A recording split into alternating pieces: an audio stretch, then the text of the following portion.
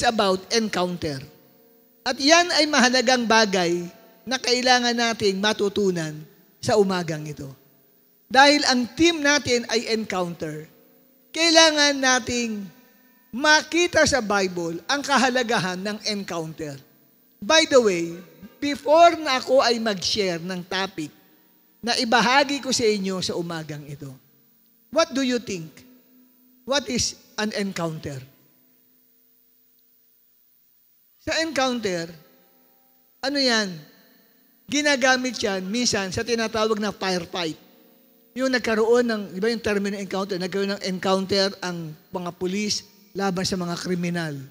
Nagkaroon ng encounter ang ang mga sundalo laban sa mga NPA.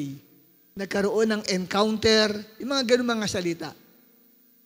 So, ibig sabihin, nagkaroon ng uh, face-to-face fighting. Okay? Pero itong encounter na ito, walang kinalaman to sa pag-aaway o sa pagpapatayan. Hindi po yan ang ibig sabihin ng encounter. Ang encounter na ating pong pag-uusapan ay encounter with God. Ito po yung iyong makatagpo ang Diyos sa buhay mo. Mamit mo si God.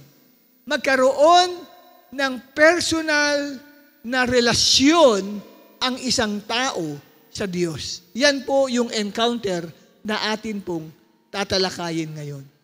Na ang tao ay nag, na, ika nga ay sa crossroad ng kanyang buhay, nakatagpo niya si Lord. Lalo na during time ng crisis sa life niya, doon niya nakatagpo si Lord. Kaya ang salitang encounter ay ito po ay isang spiritual terminology sa pagkakaroon ng isang tao ng relasyon sa ating Diyos. At sa Bible ay napakarami po tayong mababasa ng mga individual person na nagkaroon ng personal encounter with God.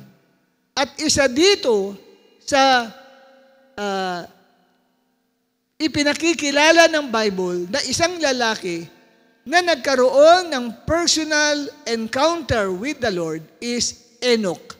Kaya ang topic natin is about Enoch's encounter with God. Ano ang topic natin? Yes. Kilala ba ninyo si Enoch? Maring ang pangalan ng kapitbahay mo ay Enoch. Hindi po yun yung kapitbahay ninyong Enoch ang ating pag-uusapan. O ang tatay mo ay si Enoch, ang pangalan. O uncle mo ay si Enoch. Yun lang pong kinalaman niya sa mga kamag-anak ninyong Enoch. Ang Enoch na ating pag-uusapan ay Enoch na narito po sa Biblia. Isa pong kilalang tao sa Bible kung saan ay nagkaroon ng personal na relasyon sa Diyos. At dito, kapatid, let me introduce to you who is this Enoch. Si Enoch ay pampito na tao o lahi mula kay Adan o mula kay Adam. Ang sabi, the seventh direct descendant from Adam. Si Dr. Luke na sumulat ng The Gospel of St. Luke ay kanyang minention na si Enoch ay pampito kung bibilang ka ng pampitong lahi mula kay Adan. Kilala niyo ba si Adan? Sino nakaki- hindi nakakilala kay Adan dito? At ating kalbuhin. Imposible hindi mo makilala. Yan ang unang-unang taong nilalang ng Diyos. Amen? At mula doon sa unang lalaking nilalang ng Diyos, nagkaroon ng maraming mga tao sa mundo. At ang ikapito ay walang iba kundi si Enoch. Sa Luke chapter 3, 37 to 38. Dito po ay ibinahagi ni Luke yun pong genealogy, genealogy, genealogy ng ating Panginoong Yesus. Yun pong talaan ng kanyang lahi sa parte ni Mary na mother in the flesh of Jesus Christ. Sa, sa book of Matthew kasi, nakalagay din yung talaan ng lahi ni Jesus. Yun naman ay mula kay Joseph, no? na stepfather ni Jesus Christ, si Joseph, na napangasawa ni Mary. Ito naman, sa book of Luke, ay side naman ni Mary ito, na ang pinanggalingan ay si Adam. Lahat naman tayo nanggaling kay Adam. Naging anak ni Adam si Seth. At ang naging anak ni Seth ay si Enos. At naging anak ni Enos ay si Kenan. At naging anak ni Kenan ay si Mahalil. At naging anak ni Mahalil ay si Jared. At ang naging anak ni Jared ay si Enoch. At naging anak ni Enoch ay si Metusela. At ang naging anak ni Metusela ay si Lamech. At naging anak ni Lamek ay si Noah. Doon po nagkaroon ng paggunaw ng mundo sa pamagitan ng tubig baha.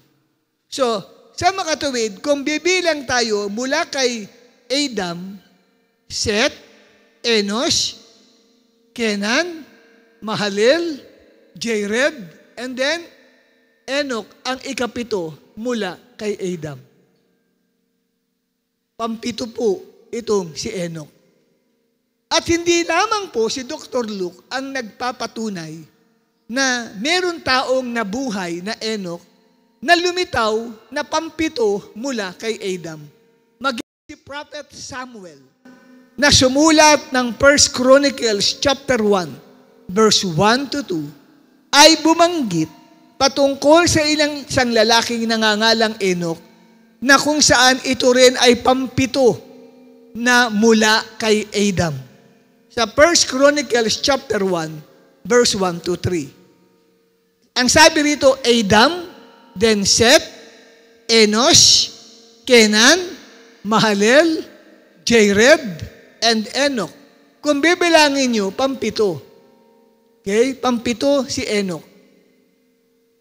Yan po ang mga talaan ng lapi, ng lipi o lahi. Ngayon, si Apostle Jude, ay kinote niya from the book of Enoch na si Enoch ay pampito na direct descendant from Adam. He quoted, meron pang book of Enoch na hindi napabilang sa Bible. Mamaya paliliwanag ko, bakit hindi napabilang yung book of Enoch sa 66 books of the Bible? Kasi wala tayong book of Enoch sa Bible eh. Bakit hindi siya napabilang? Mamaya papaliwanag ko. Okay? Pero kinote ni Jude mula sa uh, Book of Enoch, itong sinabi niya sa Jude 14. Enoch, the seventh from Adam, prophesied about them. So nagprophesy daw po si Enoch, pampito mula kay Adan. See, the Lord is coming with thousands upon thousands of His holy ones.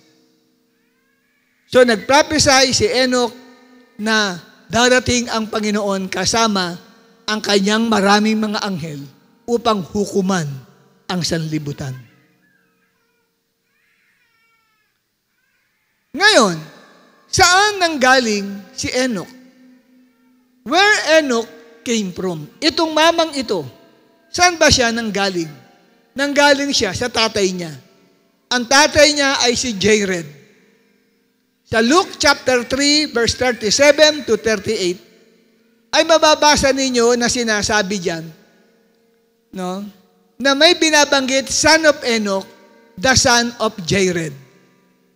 So si Enoch ay anak ni Jared. Mahalagang maintindihan natin yan para malaman natin ang background, sino ba itong si Enoch? Kunin natin ang kahulugan ng pangalan ng tatay niya.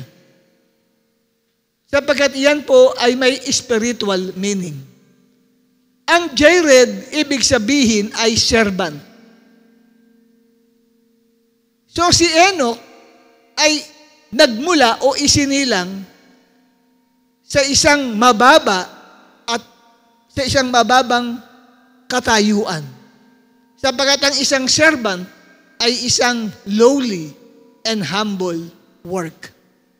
Yung pagiging trabaho ng isang servant. Kaya dito po, si Jared pala ay isang, ang tatay pala niya ay may servant heart. Siya po, mga kapatid, ay mapagpakumbaba na tao. Mapaglingkod si Jared ang tatay niya.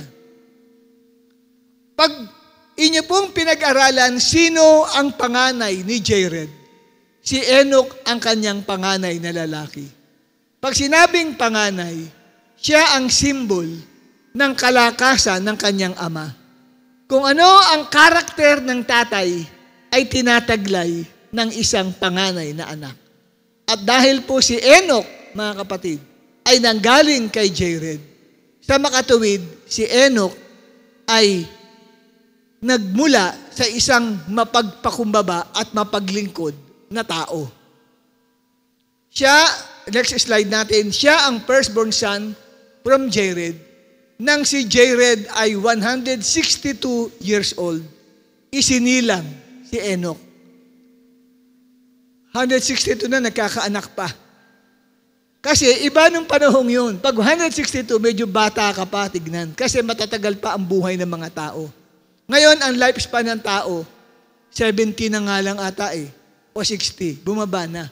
Kaya kung ikaw ay tumungtong ng 60, bonus na sa iyo yun. Noong panahong yun, yung 60, parang totoy ka pa lang, maliit ka pa lang. Kasi ano eh, uh, ang tagal ng buhay ng tao. Katulad ito, 162, nagkaanak pa si Jared. Samantalang, sino rito, may mga magulang nyo o lolo ninyo, 162 na buhay pa. Wala na. Nakalibing na yun. Di ba? Amen po ba? Yung 162, Bihira ang tumatagal ng gano'n na buhay pa. Pero itong mamang ito, yung tatay ni Enoch, 162, nagkaanak pa. At pagkatapos maisilang, si Enoch, ang tatay niya ay nabuhay pa ng panibagong 800 years old. Ang tindi ng edad dito, 800 years old. At ang sabi, nagkaanak pa ng marami. Wow! Ang tindi nitong taong ito. So, ibig sabihin, si Enoch ay hindi lang nag-iisang anak ng tatay niya. Marami siyang mga kapatid mula sa tatay niya na si Jared.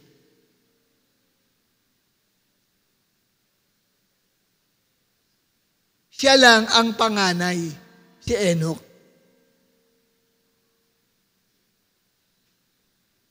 Sino kaya sa atin ang mabubuhay ng 800 years? Ala na, eh, yung iba nga lang eh. Eh si Nanay Biring nga. Ilan taon na si Nanay Biring? 79? 79? Oh, 79, dahil hindi na nga makalakad. Inaalalayan na lang si Nanay Bering. 79 pa lang yan. Eh paano kung 800 years old yan? Baka gumagapang na lang yan. Hindi ho ba? Baka naglalam, babalik sa bata, naglalampin na lang yan, binubuhat na lang.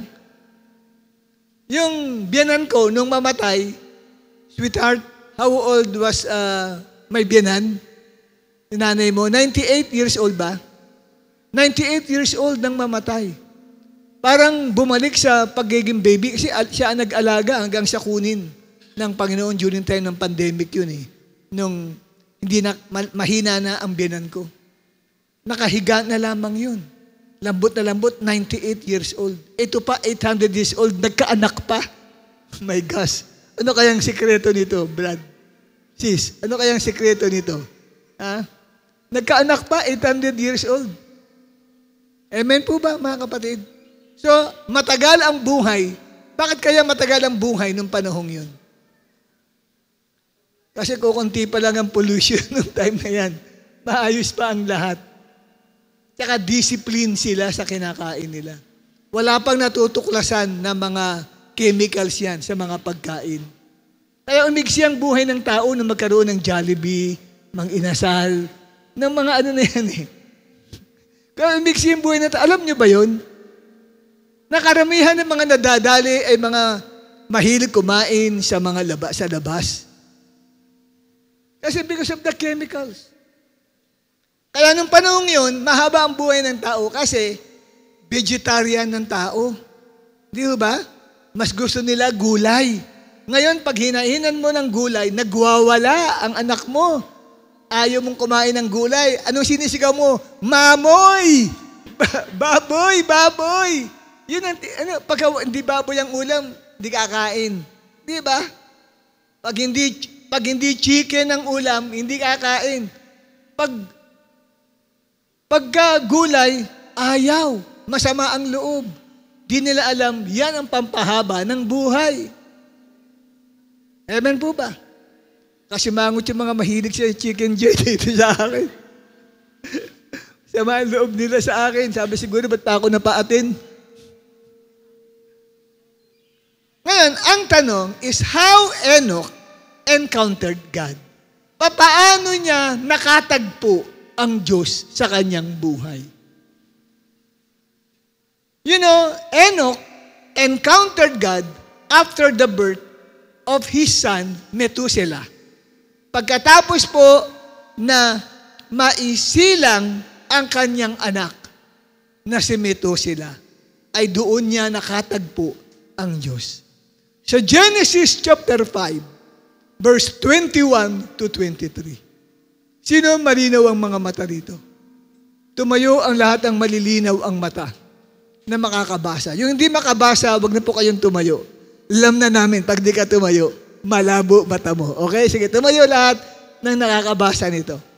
Please, stand up. English yan ha. Tsaka yung marunong magbasa ng English, tumayo din. okay lang. Yung marunong bumasa ng English. okay? So, walang marunong gumabasa ng English sa inyo. Ah, ito. Biglang nakumbikta ata. okay, sige. Basahin natin ang Genesis 5, 21 to 23. 1, 2, 3. When Enoch had lived 65 years, he became the father of Methuselah.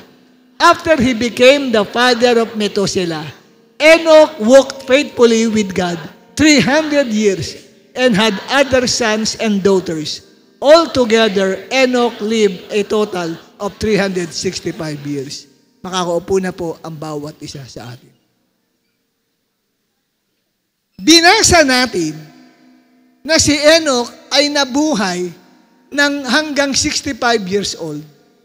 At doon siya naging tatay at the age of 65 years old. Kasi nung 65 years old si Enoch, nagkaanak siya at ang pangalang itinawag ay Methuselah. And then, verse 22, Pagkatapos niyang maging tatay, siya kapatid, ay nagkaroon ng personal encounter with God. Sapagat anong sabi sa Bible, Enoch walked with God. Sabi sa New International Version, Enoch walked faithfully with God 300 years. Wow! Napakaganda na testimony ito para kay Enoch. Tingnan ninyo, saan kayo makakita? Nung magkaanak, saka siya nag-serve kay Lord. Samantalang sa panahong ito, nung walang anak, nagseserve, nung magkaanak, wala nang time para kay Lord. Pero kakaiba itong si Enoch. Nung magkaanak si Enoch, doon siya nagkaroon ng opportunity para mag-serve. Yung iba, nung magkaanak, saka nawalan ng oras para kay Lord. Kabaligtaran ang nangyayari ngayong panahong ito. Pero nung panahon na yan, ginamit ng Diyos ang anak ni Enoch para siya ay makakilala sa Panginoon. Ano ba ang ibig sabihin ng pangalang Methuselah? What is the meaning of Methuselah? Methuselah may dalawang kahulugan na pangalan at tatlong kahulugan na pangalan. Una, One who was sent for judgment. Yun ang ibig sabihin ng metosela. Or, when he dies, judgment will come. Alam po ninyo, nagkatotoo yung pangalan niya na Metosela. Kasi, si Metosela, nagkaasawa yan at nagkaanak. Pinangalang Lamek. Tapos, yung si Lamek, nagkaasawa at nagkaanak, pinangalang Noah. So, si Noah, ay apo nito po si Metosela. At ang sabi, pag edad ni Metosela, pagdating ni Metosela ng 969 years, pinakamatandang tao na nabuhay sa balat ng lupa. Mas, mas matagal pa ang buhay niya kaysa kay Adan eh. Si Adan 930 years lang eh. 930 years old si Adan. Pero siya 969 years old. Pagkatapos niyang mamatay, saka dumating ang dilubyo sa mundo noong panahon ni Noah. Pag sinabing dilubyo, inapawan ng tubig ang buong daigdig. At nangamatay ang lahat ng tao maliban doon sa daong na ginawa ni Noah na walong tao lang at ilang mga pares ng hayop ang nakasurvive. So, yung kahulugan ng pangalang Metosela, when he dies, judgment will come, ay nangyari. So, dito kapatid, maalala niyo po, meron pang another meaning ng Metosela. Metosela means man of the dart, a small pointed weapon that can be thrown or fired. Sino naglalaro rito ng dart? Ano yung dart? Yung uh, nagda-dart? Di ba? Diyan, madalas sa kanto ng, eh malapit sa Jollibee dyan, sa Quintos, yung mga tricycle driver, yan, nagda-dart. Madalas kong makita si brother na nagda-dart dun eh. Okay? So, ganyan ang kahulugan din ng Metosela. Para siyang isang weapon na kung saan kapatid ay ito ay it, pinapatamaan yung isang bagay. Ginamit ng Diyos si Metosela kay Enoch para si Enoch ay kumilala sa Diyos. Sa paano kayang paraan na itong anak ni Enoch na ito ay nagamit para siya bilang ama ay lumapit sa Diyos. Napakagandang patotoo yan na kayong mga anak ay paggamit kayo sa mga magulang ninyo na mailapit sila sa Panginoon. Sapagat dito nakita ho natin, si Metosela ay naging isang blessing para sa kanyang mga magulang. Anong sabi ng Psalm 127 verse 3? Children are gifts from God. Ang mga anak ay regalo ng Diyos sa mga magulang. Alam mo ba na ikaw ay regalo ng Diyos sa tatay at nanay mo? Kung regalo ka, dapat blessing ka. Hindi mo sila pinaiiyak. Hindi mo pinapagalit ang mga magulang mo. At ang mga magulang mo ay lumalap, na, na, napapalapit sa Diyos dahil sa iyo. Ganyan ang nangyari kay Methuselah. Hindi man na-describe sa Bible papaano na-encounter ni Enoch ang Diyos sa pamagitan ni Methuselah. Pero alam ko, ginamit ng Diyos si Methuselah. Nagkaroon ng deep conviction kay Enoch dahil po doon kapatid, nagkaroon siya ng isang testimony si Enoch. Hindi natin yan mababasa sa Bible. Mababasa natin yan sa aklat na sinulat ni Enoch sa second book of Enoch, chapter 22. Next slide natin. Dito po ay ni-recall ni Enoch kung paano niya na-encounter sa aklat niyang second book of Enoch, chapter 22, how he encountered God. Ito ang kanyang nakapalaba, nakapaloob doon sa kanyang libro. I saw the view of the face of the Lord. Sabi ni Enoch, nakita daw niya ang muka ng Diyos. Katulad daw po ito ng isang bakal na nag-aapoy. At naglalabas daw po ito kapatid ng liwanag. Yun ang kanyang description. So he encountered God.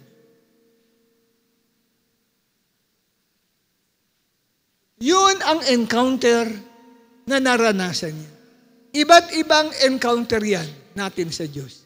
Yung iba, wala tayo makikitang ganoong vision na makita mo ang mukha ng Diyos. Katulad ni Jacob. Jacob encountered God. Hindi niya nakita ang mukha ng Diyos. Kasi madilim yun. Kaya nung mag-uumaga na, sabi ng, ng Diyos sa kanya na nasaan yung tao nang nakikipag-wrestling kay Jacob, bitawan mo ko. Mag-uumaga na, hindi mo pwede makita ang aking muka. Hindi kita bibitawan, sabi ni Jacob, agat di mo ko pinagpapala. So, binless siya ng Diyos.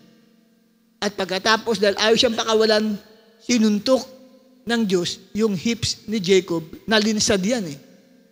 At mamaya-maya kapatid, ay nakatakas sa kamay niya ang Panginoong Diyos. Kasi hiningi niya munang i-bless bago niya pakawalan. Ang tawag doon, encounter. Tayo, po pwedeng makita mo ang Diyos. Mamaya, pagpikit mo, may lumalapit sa iyo. May ganun. Yung iba naman walang ganun, kundi nararamdaman lang niya sa puso niya na hindi naman siya iyakin, pero parang naiiyak siya. Hindi naman siya iyaking tao at sipuning tao, pero bakit lumalabas? Hindi lang luha, pati sipon tumutulo sa butas ng kanyang ilong. Umiiyak siya, hindi naman siya iyakin. Nung mamatay ang magulang mo, ang kapatid mo, ang lola mo, hindi ka umiyak. Pero dito, hindi mo mapigilang umiyak. Bakit kaya? Na-encounter mo si Lord. O kaya yung iba naman, hindi ka maiyak, pero iba naman ang naramdaman mo, parang sasabog ang puso mo sa kagalakan na e-encounter mo si Lord. Hindi mo siya nakita, pero nararamdaman mo siya sa puso mo. Nararamdaman mo yung hipo ni Lord. Pero majority sa mga napag-alaman ko na mga naranasan nila, testimony na encounter nila kay Lord, ay umiiyak sila. Natapos na ang gawain, nandoon pa rin siya sa church, na lumabas ng lahat pero naiwan pa rin siya kasi hindi niya mapigilan ang umiyak ng umiyak ng umiyak ng umiyak. Isa riyan ay si Catherine Kuhlman, isang babae na later on ay ginamit ng Diyos sa mga iba't ibang uri ng hibala at pagpapagaling. Taga-Amerika po ito, si Catherine Kuhlman. 40, she was 14 years old when she was invited to a Methodist church. At doon, pagkatapos po ng gawain, ay hindi niya mapigilan ng umiyak, alisin ng lahat ng tao, umiyak siya ng umiyak, at hanggang siya siya'y lumuhod. Sabi niya, I will never forget that experience in my life. Because personally, sabi niya, I experienced the touch of the Lord in my heart. Kasi, kilala mo naman ang sarili mo kung iyakin ka eh. Eh sabi niya, never pa siyang umiyak. Maski sa lang buhay niya kahit may naramdaman siyang sakit, naipit ang kamay niya, hindi siya umiiyak. Sabi niya, mat matibay akong tao, pero pagating pala sa harapan ng Diyos, walang matibay na matibay na emosyon.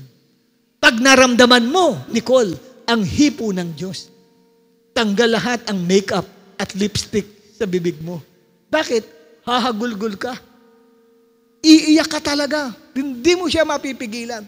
At hindi lang iyak, po pwedeng sumigaw ka pa. Parang kinakatay. At parang bruha. Gumaganon ka pa. Kasi touch yun ng Lord. Yun ang encounter na ating pinag-uusapan. Nararamdaman mo siya sa puso mo. Amen, mga kapatid? Ngayon, ano ang effect ng tunay na pag nakatagpo mo ang Diyos sa buhay mo? Kay Enoch, ito po ang kanya pong naranasan after he encountered God. Number one, Enoch became a dedicated believer of God. Naging isya siya, kapatid, na dedicated. Nakatala, tinalaga niya ang kanyang buhay sa Diyos. Ano ang patunay? Yung meaning ng kanyang pangalan, yun ang nahayag sa buhay niya. Tandaan niyo po, hindi tayo basta-basta nagpapangalan sa anak natin. Kailangan hingin mo sa Diyos. Kasi kung ano ang kahulugan ng pangalan mo, yun ang nagiging kapalaran, yun ang nagiging destiny sa English, o yun ang nagiging karakter o ugali ng isang tao. Ang pangalang Enoch means dedicated. Yan ang kahulugan ng pangalang Enoch. Dedicated. Nung isilang yan, wala namang dedication na, dedic, na pagiging dedicated niya sa Diyos eh. Doon lamang kapatid, nahayag ang kahulugan ng pangalan niya nang mai, tapos maisilang ang anak niyang si Metosela. Naging pagpapala yung anak niya sa kanya. No, doon niya na-encounter si God sa life niya. At yung pangalan niya ay nahayag nang siya ay kumilala sa Diyos at naging isang dedicated. Paano po naipa, na sabi ko na siya ay naging dedicated kay Lord? Ang sabi ng Genesis chapter 5, 21 to 23. Ano ang sabi ng verse 22? After Enoch became the father of Methuselah, Enoch walked faithfully with God 300 years. Si Enoch ay lumakad kasama ng Diyos na may katapatan sa loob ng tatlong daang taon. Grabe to.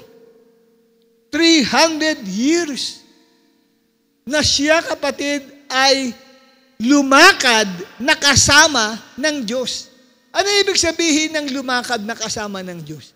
Namuhay siyang tapat sa Diyos. Ilang taon siyang naging tapat?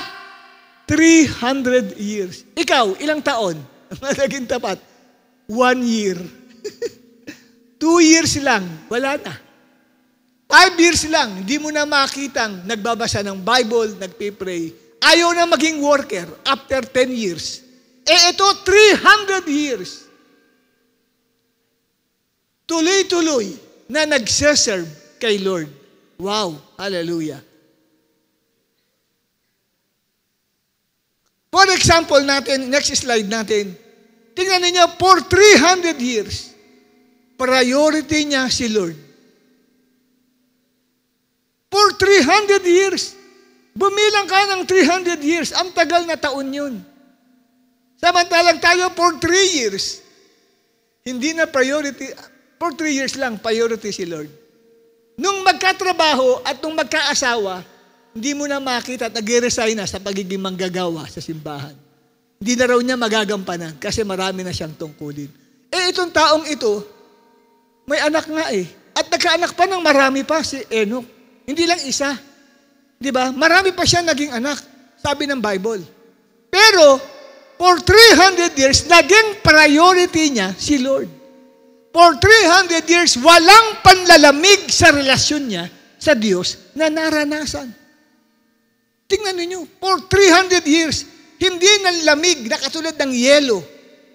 Intindihan niyo ko yung sino ng panlalamig. Halimbawa, tinanong mo yung asawa mo, ba't nanlalamig na yung parang pakikitungo mo sa akin? Intindihan mo.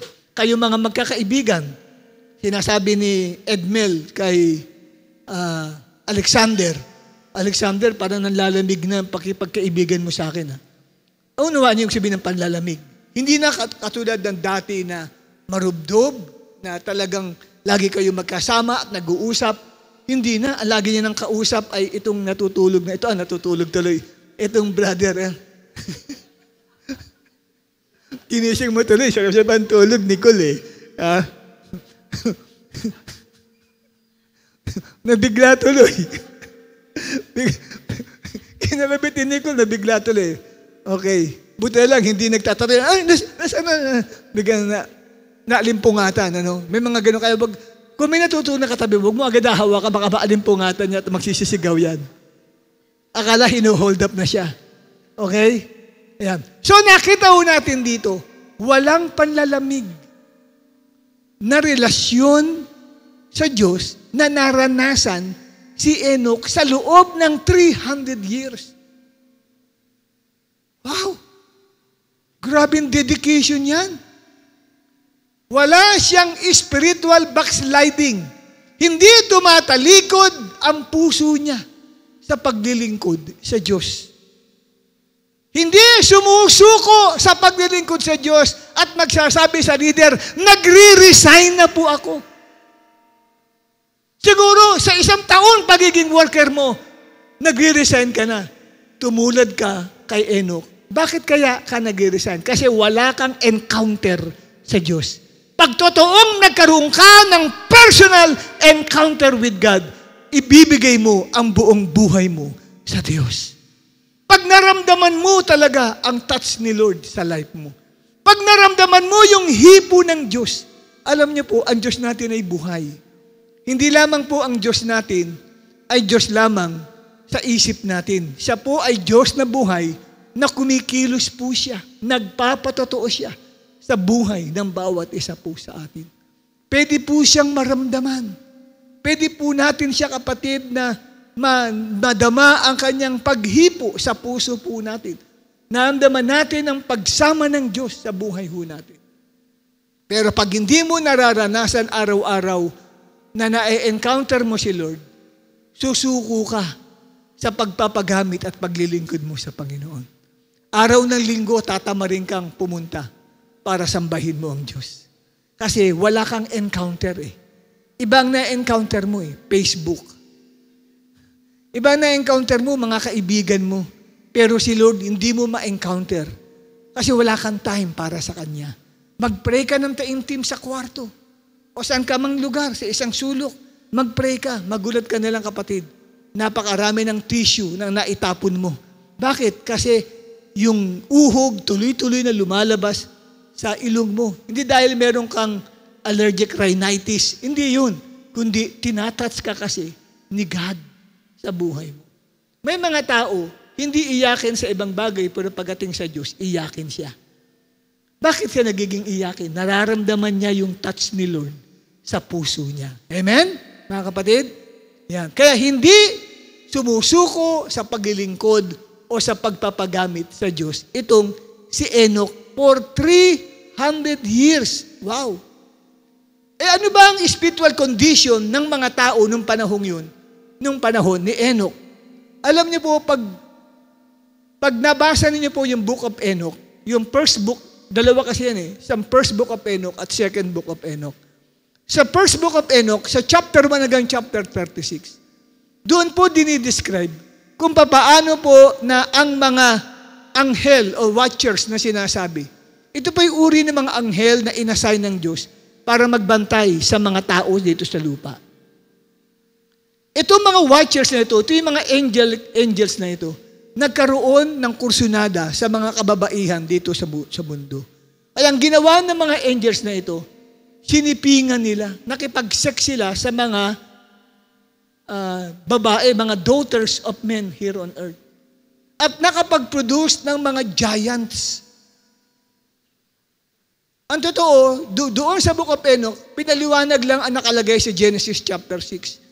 Na naroon din po yun sa Genesis chapter 6. Na kung saan kapatid, nag-produce ng mga Nephilim.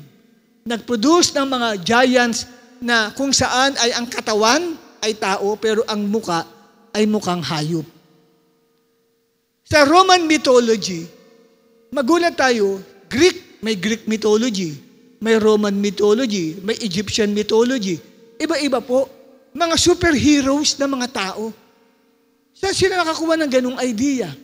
Ibig sabihin nun, talagang may mga lumitaw na mga superheroes na mga tao na dahil po sila, kapatid, ay mga offspring o pinanggalingan, mga anghel na nagrebelde sa Diyos. Mga masasamang tao. So naglumaganap ang kasamaan sa mundo nung panahon ni Noah hanggang umabot sa panahon ni, uh, mula kay Enoch hanggang kay panahon ni Noah. Grabe yung kasamaan sa mundo. Pero gayon pa man, nakita natin itong si Enoch. Hindi siya sumama kung anong uso ng kasalanan ng panahong yun. Hindi siya sumama. Ang sabi, he walked with God faithfully. Bakit dinescribe ang salitang faithfully? Hindi sasabihin faithfully kung walang struggle. May struggle eh, kaya lang tinatanggihan niya ang alok ng kasalanan. Hindi siya nakikisama kung anong ginagawa ng mga tao nung panahong yun. Nanatili siyang tapat sa Diyos for 300 years. Grabe itong mamang ito. At kung inyo rin pong babasahin ang Jude 14 na binasa natin kanina, ito pa lang si Noah, ah si Noah, si Enoch ay nagprophesy Ang sabi, siya ay ikapito mula kay Adan at nagprophesy patungkol sa judgment na gagawin ng Diyos sa mundo. Bakit kaya siya nagprophesy? Kasi grabe ang kasamaan ng mga tao nung panahon ni Enoch. Matindi ang kasalanan ng mga tao nung panahong yan. Kaya nga po, sa bagay na yan, mga kapatid, nakita ho natin na hindi siya napaapekto siya ay lumakad sa Diyos na may buong katapatan. Pag na-encounter mo si Lord, hindi ka bibitaw sa Kanya. Pag ang Lord naramdaman mo sa puso mo, hindi ka papayag na yumakap ka sa kasalanan. Tatalikuran mo ang kasalanan sa buhay mo. Kung maramdaman mo ang hipo ng Diyos sa puso mo. At ang ikalawang epekto ng encounter ni Enoch sa Diyos ay his encounter with God had produced strong faith. Ito po ang naibunga ng maramdaman niya ang hipo ng Diyos sa buhay niya. Nagkaroon siya ng isang malakas na at matatag na pananalig o pananampalataya sa Diyos. Sa aklat ng Hebreyo 11, 5 hanggang 6, lahat ng mga kababaihan ay tumayo. Mga women lamang. Please, all women, uh, please stand up. And let's read this Hebrews 11, verse 5 to 6. 1, 2, 3.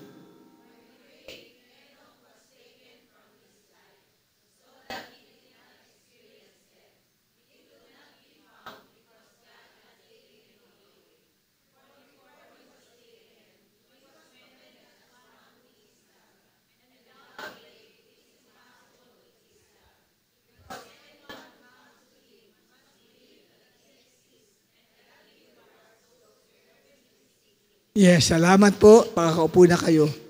Ipinaliwanag ng binasa natin sa New Testament. Ano ba ang nangyari kay Enoch? Bakit nagawa niyang lumakad na may buong katapatan sa loob ng 300 years na siya ay nagsiserve kay Lord walang panalamig at walang pangihina dahil sa kanyang strong faith.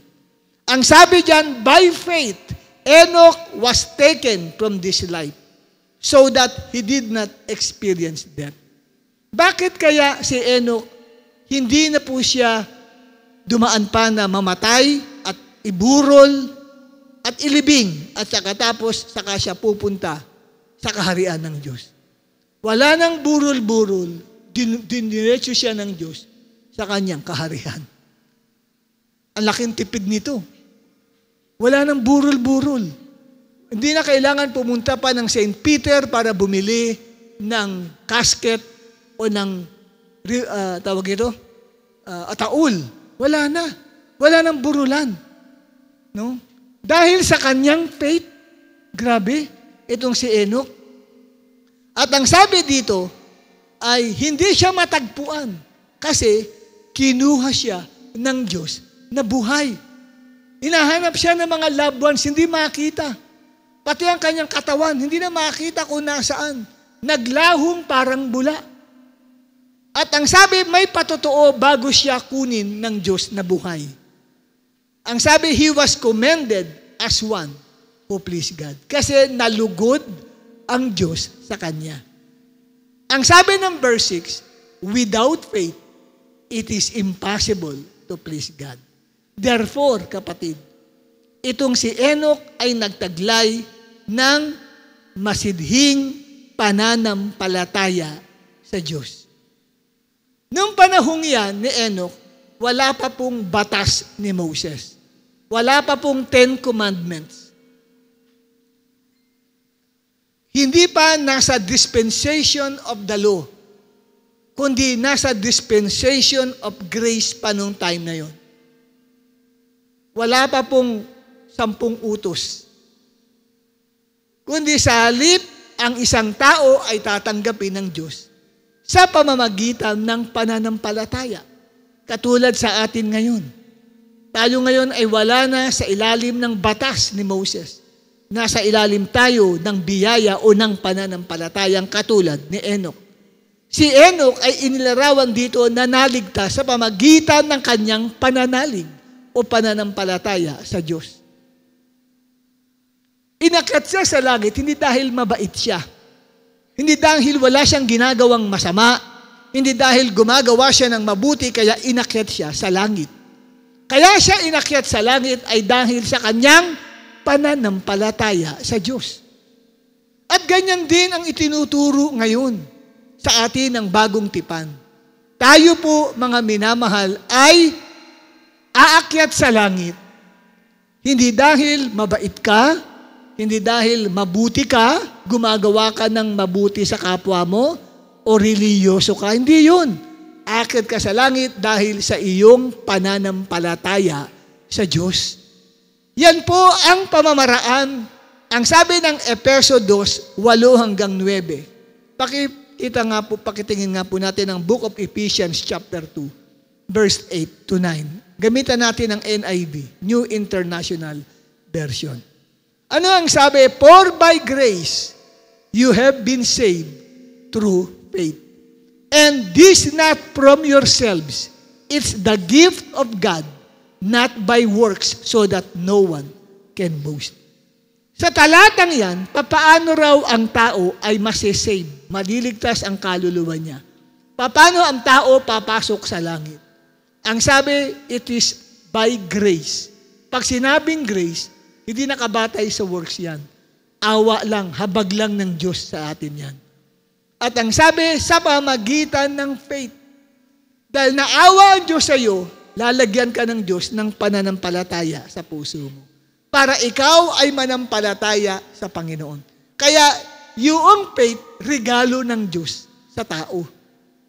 Amen? Si No, si Enoch ay nakasumpong lang ng biyaya ng Diyos.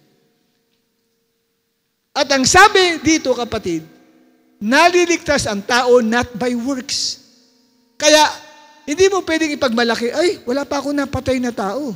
Wala akong nilokong tao, kaya ako pupunta sa langit diyan hindi ka makakapasok sa langit. Pag pinagmamalaki mo, na pupunta ka sa langit dahil napakabait mong tao, hindi ka pupasok sa langit. Kasi, ang sabi sa Bible, pagating mo sa langit, sisipain ka ng Diyos papalabas. Dahil ang yabang-yabang mo. Ang sabi dito, no one can boast. Wala kang maipagmamalaki. Pagka pumasok sa langit, sasabihin mo lang, awa mo lang ito, O Diyos, sa akin sa pamagitan ng aking pananampalataya sa iyo, hindi dahil sa iyong ginawa. Kasi kung nakabatay sa ginawa mo ang kaligtasan mo, baliwala ang kamatayan ni Jesus sa krus. Tanggalin mo na ang Semana Santa. Wala nang observation, observance ng Semana Santa. Ano bang Semana Santa? Pag-alaala sa kamatayan ni Jesus sa krus dahil sa kasalanan natin. Kung ang pinangahawakan mo ay mabait ka, reliyoso kang tao, papasok ka sa langit, wala kang nagagawang kasalanan kaya papasok ka sa langit, tanggalin na natin ang Semana Santa. Bakit? Useless na ang kamatayan ni Jesus sa krus. Kasi pinagmamalaki mo, sa pamagitan ng mabuti mong gawa, papasok ka sa langit. Tandaan niyo po, wala pong taong papasok sa langit na ipinagmamalaki niya ang mabuting ginawa niya na walang papasok sa langit na sinasabi niyang mabait siya. Sapagat ang Bible nagsasabi, walang taong mabait. Lahat ng tao ay makasalanan. Kaya si Yesu Kristo ay bumaba, nagkatawang tao, upang sa gayon ay mamatay sa kasalanan ng bawat isa sa atin at tayong lahat ay mapatawad sa ating mga pagkakasala. So sa pamamagitan lamang ng kamatayan ni Jesus Christ, ang tao ay maliligtas. Kaya kailangan mong sampalatayanan ang ginawa ni Jesus sa buhay mo. Kailangan yung faith na yun, paniwalaan mo yun. Yung pagpagtiwalaan mo yung ginawa ni Jesus sa cross. Kasi otherwise, hindi ka makakapasok sa langit. Dahil bawal ang mayhabang sa langit. Bawal ang nagmamalaki na mabuti ang bagay na ginagawa mo Sapagat ang sabi sa Bible, no one can boast. Ephesians chapter 2, 8 to 9, For it is by grace we have been saved through faith. It is the gift of God, not by works, so that no one can boast. Kaya walang pwedeng ipagmalaki. Kaya ako pumasok sa langit, alam nyo, napakabait kong tao. Wala. Ang mga papasok sa langit, marami doon, mga taong kriminal. Pero, nagpakumbaba sila sa harapan ng Diyos. At inadmit nilang sila'y makasalanan at nanampalataya sa Panginoong Yeso Kristo. Naalala ninyo, yung nakapakong dalawang tao doon sa cross. Di ba nasa gitna si Jesus nakapako, yung isa nasa kanan, isa sa kaliwa. Sino ang nakapasok sa paraiso ng Diyos? Yung isang nasa kanan, yung nanampalataya kay Jesus. Eh yung dalawang yun, bakit ipinako kasama ni Jesus? Mga kriminal eh. Mga kriminal sila. Pero yung isa, nakapunta sa impyerno, hindi sa, hindi sa karya ng Diyos pumasok eh. Kasi, ang sabi noong isang nakapako sa kanan na kriminal, eh, huwag kang magsalita ng masama sa Jesus na ito. Tayo karapat dapat lang parusahan, pero siya wala siya nagawang kasalanan. Tapos sabi niya, Jesus, alalahanin mo ko pagdating mo sa iyong kaharian. Anong sabi ni Jesus?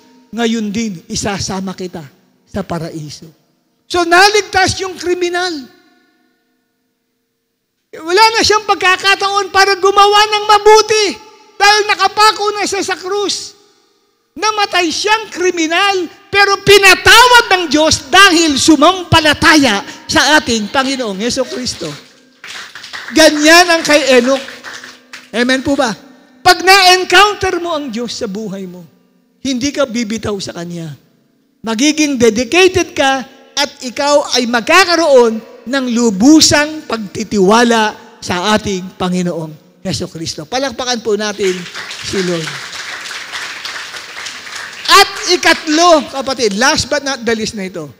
Ikatlong epekto ng encounter, kinuha ng Diyos si Enoch na buhay mula sa masamang sanlibutan ito kasi nakita sa kanya na siya ay puno ng pananampalataya. Ano yung sabihin ng faithful? Pag sinabing faithful, full of faith. Tama ba yun? Kaya nga faithful eh, di ba? Full of faith. Kaya hindi ka pwede maging faithful kung hindi ka maging full of faith. Faithful, di ba? Faith, tapos full. Di ba? O di balik yung full, yung full, unahin mo sa faith. Full of faith. Kaya yun ang kinukuha ng Diyos sa heaven. Tandaan ninyo kapatid, pwede palang pumasok ang tao sa langit na hindi na mamamatay pa. Ilan sa inyo gusto nyo pag pumunta kayo sa langit, hindi na kayo mamamatay? Hindi na kayo maghihingalo pa. Uh, uh, uh, hindi na. Wala nang hinga-hingalo pa. At wala nang hospital ka. Wala kang sakit, wala kang karamdaman. Diretso ka na sa heaven. Wow, hallelujah. Nangyari yan kay Enoch. Hindi, wala namang sakit yung mama. Hindi naman inatake sa puso to. Hindi naman na-stroke itong si Enoch. Wala siyang sakit. Wala siyang karamdaman. Pero hindi na siya matagpuan ng mga loved ones niya. At ang sabi ng Bible, kinuha siyang buhay ng Diyos. Mangyayari ba sa panahon natin yan? Opo. Yan po ay mababasa natin sa next slide natin. Next slide. Yan. Hindi, next slide natin. Magyayari yan sa pagbabalik ng ating Panginoong Yeso Kristo. Mauulit ang panahon ni Enoch. Tumayo ang lahat. Oh, lahat ah. Nag-iisip yung iba eh. Lahat. tumayo ang lahat. Sige, yan. Ayan. Nung sabi mo tumayo ang lahat, parang nag-iisip lahat. Sino ba yung lahat? Kasama ka doon, lahat tayo. Okay? First Thessalonians 4, 16 to 17. Lakasan natin, sabi mo sa katabi mo, lakasan natin ang tinig natin. O Alexander, sabihin mo kay Nicole, lakasan natin ang tinig natin. Yun. Ayan. Okay, ready? One, two, three. For the Lord Himself will come down from heaven with a loud command, with the voice of the archangel, and with the trumpet call of God. And the dead in Christ will rise first. After that, we who are still alive and are left will be caught up together with them in the clouds to meet the Lord in the air.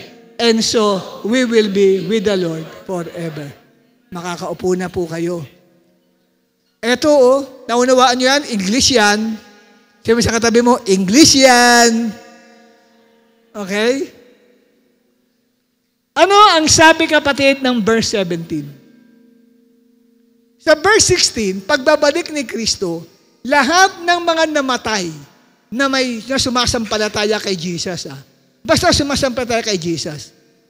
Pero kung may iba ka pang sinasampalatayanan, ewan ko lang kung makakasama ka. Pero kay Jesus Christ nakasento yan eh. Kasi ang sabi rito, those who are dead in Christ, namatay na may Jesus sa puso, shall rise first. Pagbabalik ni Kristo, lahat ng patay na nakalibing sa sementeryo ay mabubuhay nang merong Jesus sa puso. Ngunit hindi lang po sila kapatid ang siyang kukunin ng Panginoong Jesus pagbabalik niya. Sa verse 17, pakibasa nga ni Kati, Kati, uh, o Kati nga, Catherine, verse 17,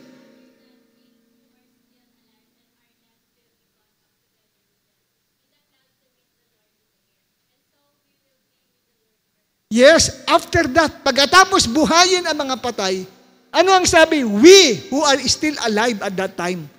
Nung tayo po'y buhay at dumating si ang Panginoong Yesus, tayo din pala ay isasakay sa alapaap para pumunta sa langit. Parang si Enoch, inakyat sa langit. Buhay na inakyat. Buhay ka ding iaakyat ng Diyos sa kanyang pagbabalik. Palakpakan natin si Lord. Kaya, ang laking lugi ng St. Peter dyan. Sabagat mababalitaan, marami ang mga namatay, marami na walang tao na hindi na po ibuburol. Kinukumpute nila, milyon-milyon daw, sabi sa balita ang nawala. E di, sana, milyon-milyon ang bumili ng kanilang ataol. Walang bumili. Kasi bakit? Dinerecho sa heaven. Praise God. Sino sa atin dito, gusto natin hindi tayo mamamatay? Namamasyal ka lang sa luneta at mamaya bigyan na wala ka na lang doon. Yung kasama mo, hindi, asan yung kasama ko? Halimbawa, yung boyfriend ni Nicole, nakaganon pa siya. Bigang eh, born again Christian ng boyfriend ni Nicole. Uy, nagulat siya, bigyan na wala. Eh si Nicole, naiwan. Bigyan na wala. Ganun po ang sabi rito eh. Saan makikita na biglang nawala? Sa 1 Corinthians chapter 15, verse 51 to 55. Ito po, dinidescribe paano magaganap ang pagbabalik ni Kristo. Okay, ganyan na nangyari kay Enoch eh. Biglang nawala si Enoch. May mga nakakita maral kay Enoch na parang isang bulang nawala. Nakikita lang mamaya biglang pak, nawala. 1 Corinthians 15, oh, basahin, hilingan natin ito, si Nicole. Sige, how old are you, ma'am? Uy, 23 na. Anong estudyante po ba kayo? Ah, review? Anong course pong nire-review nyo, ma'am? civil engineer. Civil, ah, itong future engineer pala itong ating kausap. No? Congratulations, engineer ka na. Amen? Sige. Pabasa natin kay Engineer Nicole. Anong apelido mo, ma'am? Sesbrenyo. Sesbrenyo. Si Engineer Sesbrenyo, basahin po yan. Meron sounds yan. Listen, I tell you a mystery. We will not as we will not all sleep, but we will all be changed in a flash, in the twinkling of an eye, at the last trumpet. For the trumpet will sound, the dead will be raised imperishable, and we will and we will be changed. For the perishable must clothe itself with the imperishable, and the mortal with immortality. Amen. Thank you, ma'am. Thank you, engineer, Sis Brenyo. Hallelujah. Ano ang sabi diyan? Pagdating ni Kristo, sa isang kisap mata, sige isang kisap mata nga, isang ganun lang ng mata natin eh, biglang mawawala yung kausap mo. Kung iyan ay may Christ. Pagbalik ni Christ, kakwentuhan mo lang, isang Isang kisap mata, in a twinkling of an eye. Ang sabi rito, we will all be changed. Sa verse 52, in a flash, in the twinkling of an eye at the last trumpet, for the trumpet will sound. Makakarinig pala tayo ng malakas na ihip ng trumpeta. Umuugong yun. Maririnig ng mga tao yung malakas na ugong, tinginan sila. Naalala nyo sa YouTube, may mga ganyan nangyari. Ah. May daw silang ang lakas ng ingay. Akala nga nila nag-rapture na. Ninervous na yung mga ibang, ibang mga kristyano nun eh. Kaya nagtatawagan sila, nandiyan ka pa ba? Nandiyan pa ba kayo? Kasi may narinig daw silang ang lakas ng ugong. Buti hindi pa nag-rapture. No? At ang sabi rito, the dead will be raised imperishable. Yung mga patay ay mabubuhay na wala ng kamatayan. At tayong buhay, and we will all be changed. Mula sa katawang may kamatayan, for the perishable must clothe itself with imperishable. Hindi na tayo magkakaroon ng katawang lupa. Iba na, glorified body tayo. Tatagos tayo, kapatid, sa anumang parte ng bahagi ng pader. Bubong, tatagos ka dyan. Kasi tayo ay sasalubong sa ating Panginoon. Ganyan ang nangyari kay Enoch. Amen? Kaya dito ang sabi rito sa verse 55, mawawala ang kamatayan eh. Mawawala ng kapangyarihan ng kamatayan sa mga tao. Anong sabi ng verse 54? When the perishable has been clothed with the imperishable, and the mortal with immortality, then the saying that is written will come true. Death has been swallowed up in victory. Where, O death, is your victory? Where, O death, is your sting. Kamatayan, nasaan ang iyong kamandag? Wala na. Ang, kapang, ang kamatayan ay wala ng puwersa o kapangyarihan sa atin dahil pwede tayong umakyat sa langit katulad ni Enoch pagdating ng ating Panginoong Yesus. Pero kailangan merong kang pananampalataya. Anong uri ng pananampalataya? Faithful. Full of faith in God. Amen? Punong-puno ka ng pananampalataya sa Diyos. Hingin mo sa Lord, Lord, paranas mo sa akin na kayo'y buhay. Hingin mo sa Diyos yun. Magpatotoo kayo sa akin. Hipuin mo ang puso ko. Tumayo tayong lahat. At tayo kapatid ay lumapit sa ating Panginoon.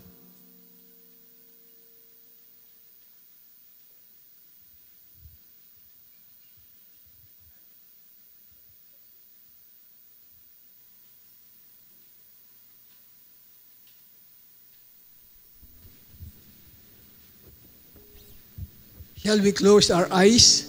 And let's fix our eyes on the Lord.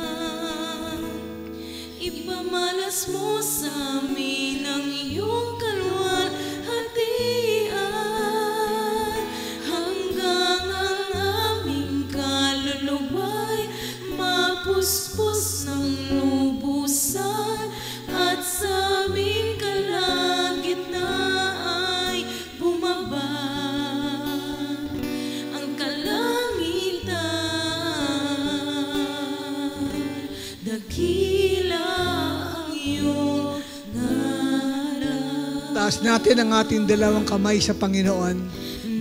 magkaroon ka ng personal prayer mo kay Lord. Sabihin mo, Lord, I want to encounter you this morning. Lord, touch my heart. Touch me from the top of my head to the soles of my feet. And let me experience you.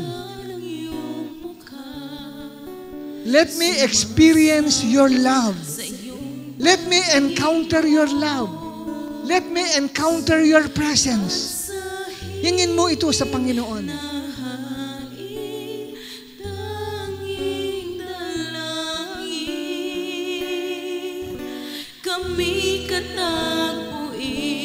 Habang nakapikit ka, yun ang prayer mo.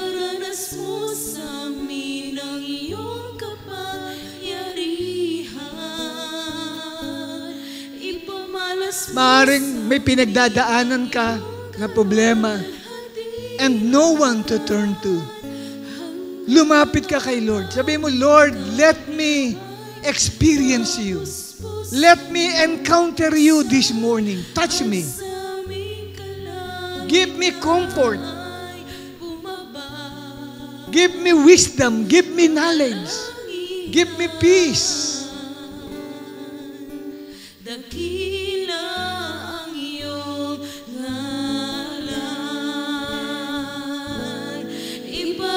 small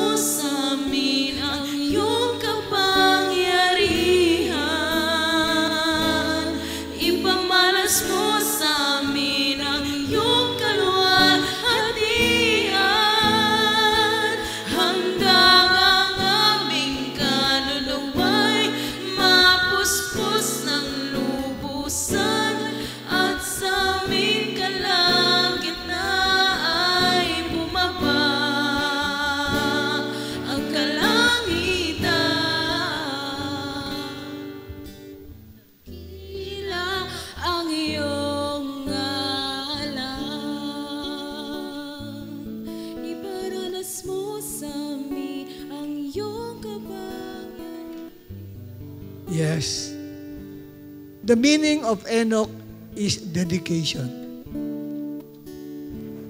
In the midst of turmoil, in the midst of misery,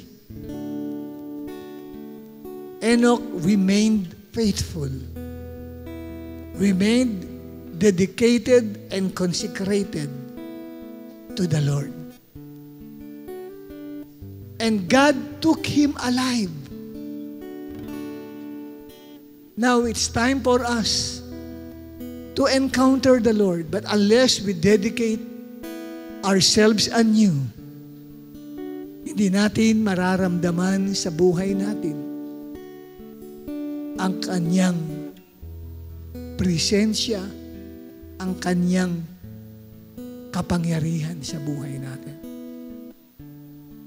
Ialay natin ang handog natin sa Diyos ang ating buhay. Salamat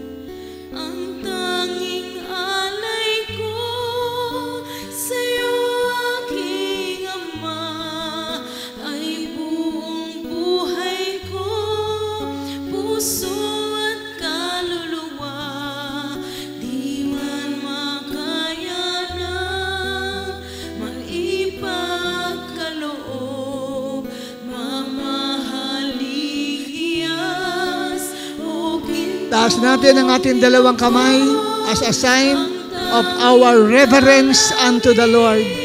The lifting up of our hands is a symbol of our reverence to the living God.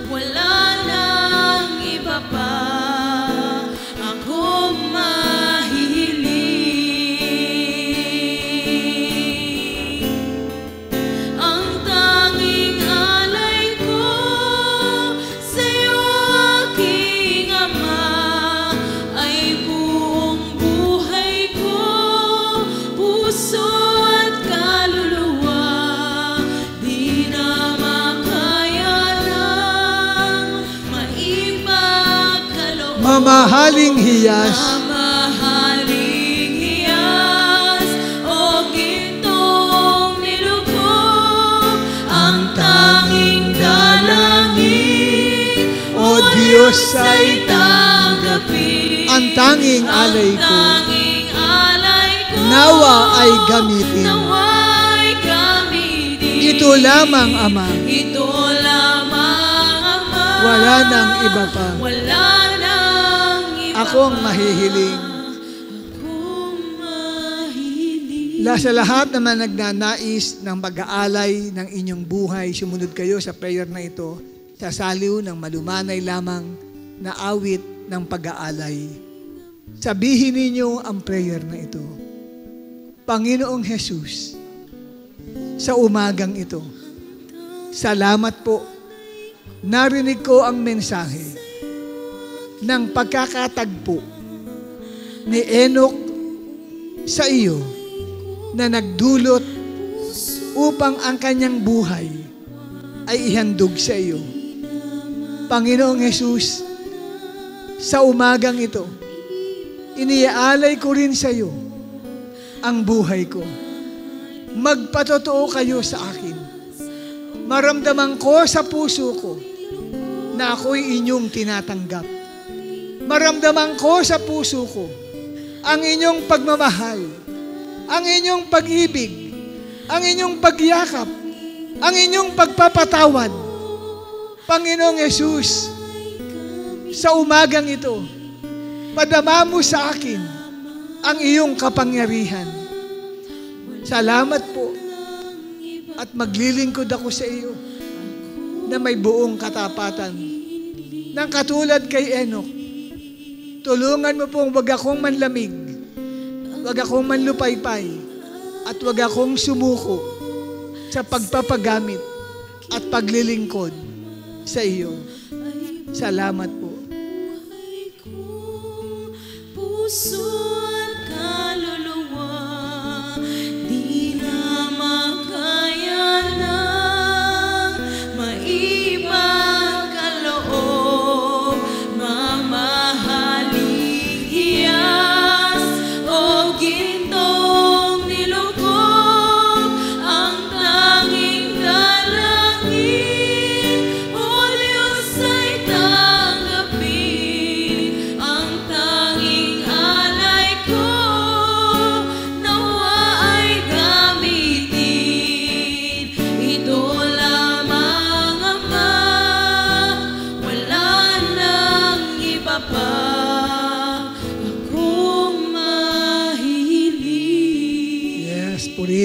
Palakpakan natin ang ating Panginoon. At ngayon ay ah, natawagan natin ang ating mga first-timer para kayo i-welcome po namin dito sa harapan. Si Eileen Reyes. Nandyan po ba si Eileen Reyes? Si Edmel Jason Delana. Si Alexander Flores. Si Nicole Angela Sesbreño. At si Michael Jones Haso. Sige, lumapit po kayo rito sa harapan para kamayan kayo. Sige po. Si Lynn Garay. No? Kayo po yung si Lynn Garay. Harap po kayo sa mga tao. About face kayo. Kayo po, ma'am. At papuntahin din natin sa harapan ang second timer natin, si Teresita Elescudes at si Chiquita Harhines. Tatanggapin po namin kayo. Natid natin si Teresita at si Chiquita. Apo, alik kayo. Sige po. Lapit po kayo sa harapan. Purihin ng Panginoon. Etong si Sister Teresita, ito yung dumalo noon na naka, ano eh, naka tungkod eh. Ngayon, wala na. Andyan na yung tungkod niyo, no? Hindi na ginagamit yung kanyang tungkod. Purihin ng Diyos. Hallelujah. Sige po, i-welcome po natin sila. Tumayo tayong lahat, kamayan natin itong atin pong mga visitors na ito. This is our time, this is our place, this is our moment to lift your name. This is our time, this is our